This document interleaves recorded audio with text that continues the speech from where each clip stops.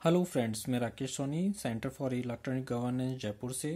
दोस्तों, आज के लेक्चर नंबर ट्वेंटी फाइव में हम बात करेंगे फ्लिट कमांड की। ये किस तरह से यूज़ होता है, कहाँ पे यूज़ होता है, इसके क्या क्या बेनिफिट्स हैं क्या क्या सब ऑप्शन है, ये सारी चीज़ें हम डिस्कस करने वाले हैं। तो देखते हैं fillet command. Round and fillets the edges of objects. तो आप किसी भी ऑब्जेक्ट के जो कॉर्नर हैं, वो अगर राउंड करना चाहते हैं तो आप फ्लिट कमांड का यूज़ ले सकते हैं। A fillet connect to object with an arc that is tangent to the object and has a specified radius तो किस तरह से करेंगे? जो दो टेंजेंट्स होंगे, उनको मिलाते हुए एक सर्कल डिनोट करते हैं मतलब ड्रॉ करते हैं। तो उस अकॉर्डिंग किस तरह से उस चीज़ को हम कर पाएँगे, वो चीज़ हम देखते हैं। तो दोस्तों, जैसे कि ये ऑब्जेक्ट आपको फ़र्स्ट ऑब्जेक्ट दिखाई दे रहा है, इसमें जो शेप आपको दिखाई दे रही है, ये है फ़र्स्ट सेलेक्टेड ऑब्जेक्ट यानी ये लाइन जो है वो फ़र्स्ट सेलेक्टेड ऑब्जेक्ट है। सेकंड ये वाला सेलेक्टेड ऑब्जेक्ट है second selected object and third जो हमारे पास रिज़ल्ट मिलेगा, वो कुछ इस तरह से हो जाएगा। इन दोनों के टेंजेंट एक राउंड शेप आपके पास मिल जाएगी।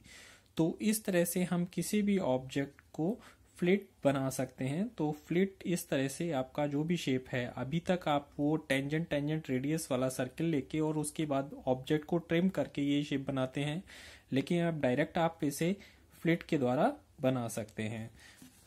अब आगे देखते हैं दोस्तों, इसमें और क्या क्या होता है? An inside corner is called a fillet जो इनसाइड कॉर्नर है, वो फ्लिट कहलाते हैं and an outside corner is called a round you can create both using the fillet command तो दोनों ही चीज़ें अंदर और बाहर, दोनों ही तरह से आप उसको यूज़ कर सकते हैं। आप इसको कहाँ कहाँ पर यूज़ ले सकते हैं, वो हम देखते हैं कि ये कहाँ कहाँ पे यूज़ हो सकता है। यू कैन फ्लिट कहाँ कहाँ पे कर सकते हैं?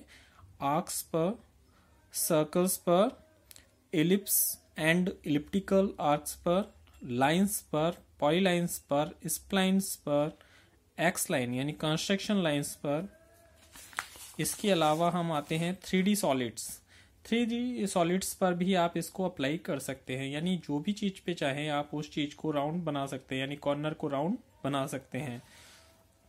फिर आगे देखते हैं fillet can be use to round all corner on a polyline using a single command यानी यदि कोई पॉइलाइन आपके पास है तो उसको आपको डायरेक्टली उसके सभी कॉर्नर्स को आपको राउंड बनाना है। तो एक सिंगल कमांड के द्वारा आप उसको सभी कॉर्नर्स को राउंड बना सकते हैं। तो ये किस तरह से होता है, वो हम देख लेते हैं। जैसे आपके पास दो लाइनें दी हुई हैं। मान लीजिए two lines before fillet fillet होने से पहले ये कुछ लाइनें इस तरह से दिखाई दे रही हैं। Two lines filleted with zero radius. अगर आप ज़ीरो रेडियस लेके बनाते हैं तो वो कुछ इस तरह से बन जाएँगी। ये चीज़ आपकी बन जाएगी। Two lines with filleted with radius. अगर रेडियस के द्वारा देंगे तो वो राउंड कुछ इस तरह से हो जाएँगी। दो लाइनें, जिसमें रेडियस आप खुद गिवन देंगे मतलब उसको खुद देंगे कि कितना रेडियस होना चाहिए। तो ये फ्लिट कमांड किस तरह से यूज़ होगा? अब हम वो देख लेते हैं। फ्लिट कमांड के लिए एफ़ एंटर सबसे पहले आपको करना होगा एफ़ एंटर इसका शॉर्ट कमांड है। फ्लिट देने के बाद F enter then R enter for radius उसके बाद आपको रेडियस की वैल्यू उसको देनी होगी। तो जो भी आपकी रेडियस वैल्यू है, जो आपको गिवन है, वो आप टाइप करिए एंटर करिए। उसके बाद है स्पेसिफायर रेडियस वैल्यू जो भी आप रेडियस वैल्यू देना चाहते हैं, जो भी आपको गिवन है, वो रेडियस वैल्यू दीजिए और एंटर करिए। फिर आपको सेलेक्ट फ़र्स्ट ऑब्जेक्ट यानी पहले ऑब्जेक्ट को क्लिक करना है और उसके बाद सेकंड ऑब्जेक्ट को क्लिक करना है। तो जैसे ही आप सेकंड ऑब्जेक्ट को क्लिक करते हैं, वो ऑब्जेक्ट क्रिएट हो जाएगा, यानी वो फ्लिट हो जाएगा और उसके बाद आप कमांड से बाहर भी निकल आएँगे। यदि आपको दोबारा से और किसी कॉर्नर को करना है तो वापस एंटर करिए। लेकिन अगर सेम रेडियस है तो आपको अब रेडियस यानी आर एंटर करने की ज़रूरत नहीं है, केवल दो ऑब्जेक्ट को सिलेक्ट करिए। यानी अगर आपकी रेडियस चेंज नहीं हो रही है तो सेम उसी चीज़ को रिपीट करते जाने के लिए आप एंटर कमांड को यूज़ लीजिए, यानी एंटर एंटर करते जाइए, वो ऑब्जेक्ट बनता चला जाएगा।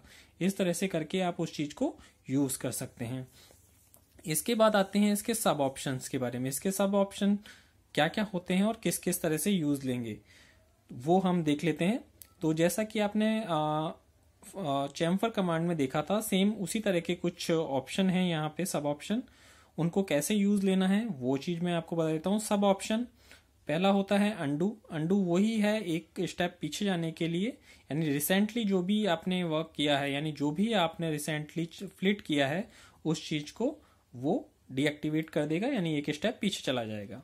देन पॉइलाइन जैसा कि आपने ऊपर अभी देखा था, कि हम एक ही कमांड के द्वारा सभी कॉर्नर्स को किस तरह से फ्लिट कर सकते हैं तो वो पॉइलाइन से, यानी कोई जुड़ा हुआ ऑब्जेक्ट है, यानी सिंगल सेलेक्टेबल ऑब्जेक्ट है तो आप उसे पॉइलाइन कमांड को यूज़ लेते हुए सभी कॉर्नर्स को फ्लिट कर सकते हैं। कैसे करेंगे? F enter R enter specify radius value radius value देने के बाद आप पी एंटर करिए पॉइलाइन के लिए और सेलेक्ट कर दीजिए पॉइलाइन को। तो उसके सभी कॉर्नर जितने भी होंगे वहाँ पर वो पॉइलाइन फ्लिट में कन्वर्ट हो जाएगी, यानी वो कॉर्नर राउंड हो जाएँगे। तो इस तरह से करके पूरा पॉइलाइन एक साथ राउंड में कन्वर्ट हो जाएगा कॉर्नर्स उसके।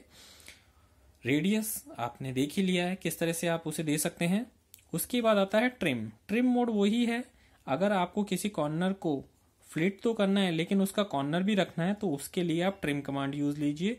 नो ट्रिम और ट्रिम दो मोड होते हैं तो जो भी आपको उसमें से ऑन रखना है, वो आप ऑन रखिए, उसके बाद आगे चलते हैं। मल्टीपल। मल्टीपल यानी आपने देखा, जैसा कि आपने पहले किया है फ्लिट आपने कमांड लिया फ़र्स्ट और सेकंड ऑब्जेक्ट को सेलेक्ट करते ही आप कमांड से बाहर आ जाते हैं। यदि आपको मल्टीपल कॉर्नर्स को एक साथ फ्लिट करना है तो उसके लिए आपको मल्टीपल यूज़ लेना होगा। बार बार आप बाहर नहीं निकलेंगे। एम एंटर करते ही आप दो ऑब्जेक्ट को क्लिक करते जाइए, वो राउंड होते चले जाएँगे। जब तक आप एस्केप नहीं करते हैं, तब तक वो फ्लिट होते चले जाएँगे। इसके लिए और कुछ भी नहीं करना, केवल आपको मल्टीपल यूज़ करना है। तो इस तरह से इस पूरे सब ऑप्शन को यूज़ करते हुए आप फ्लिट को अच्छे से यूज़ कीजिए। ये बहुत बेनिफिशियल है आपके लिए और जो आप अभी टेंजेंट टेंजेंट रेडियस से सर्कल बना के और उसके बाद ट्रिम करके यूज़ ले रहे थे, वो सारी चीज़ें आपको करने की ज़रूरत नहीं पड़ेगी। आप डायरेक्ट ही इस तरीके से अपने दो टेंजेंट लाइन को एक फ्लेटेड या राउंडेड शेप बना सकते हैं।